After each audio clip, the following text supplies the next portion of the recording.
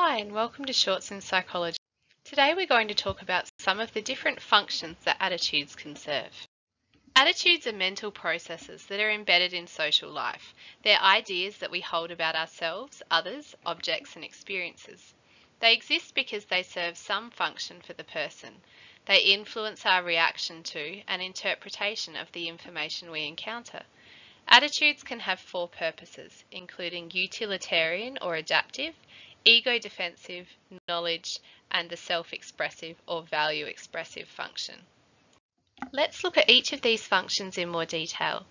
The utilitarian or adaptive function relates to rewards and punishments. The attitude serves as a means to reach a desired goal or to avoid an undesired one.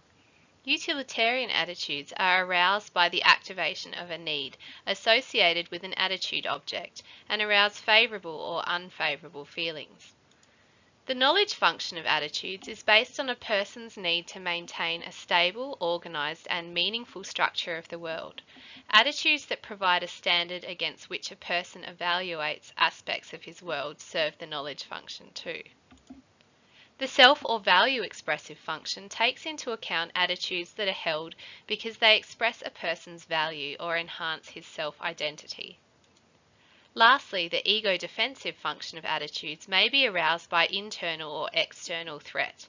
This could include frustrating events, appeals or the build-up of repressed impulses, and suggestions by authoritarian sources. Now that we've defined each of the four functions that attitudes can serve, let's look at an illustrative example, your attitude towards your SACE psychology exam. A student may have the attitude that they want to be a psychologist, so they want to do a lot of revision regardless of what others think of them.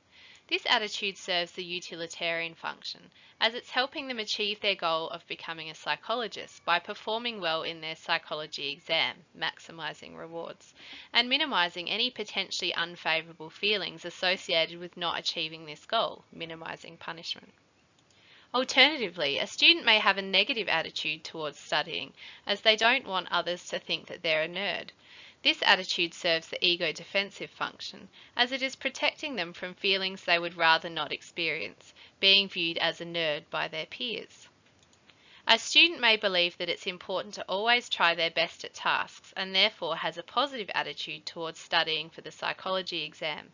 This attitude serves the self-expressive function as it is expressing that students' value of hard work. Similarly, the attitude that it is important to study in order to pass the psychology exam serves the knowledge function as it helps the student to maintain a stable and organised structure of the world. To finish, let's examine a past exam question. Pause the video for a moment while you attempt it. You could justify any of the four functions for this question, so choose the one you feel most confident explaining. As part B is worth four marks, you need two well-made points. One should be a good definition of your stated function, followed by an explanation of how Yasmin's attitude could serve this function.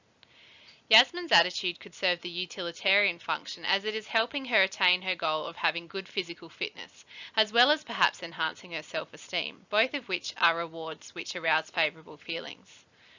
Similarly, her attitude could also serve the ego defensive function, as a positive attitude towards going to the gym would protect her self-esteem and prevent her from experiencing unpleasant thoughts and feelings about her self-image and physical fitness.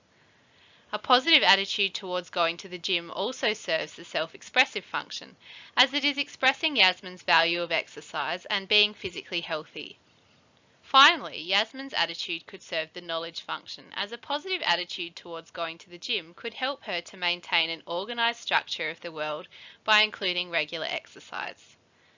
Yasmin may also use this as a standard to evaluate her physical fitness and activity level. I hope this has helped you to better understand the functional model of attitudes. Thanks for listening.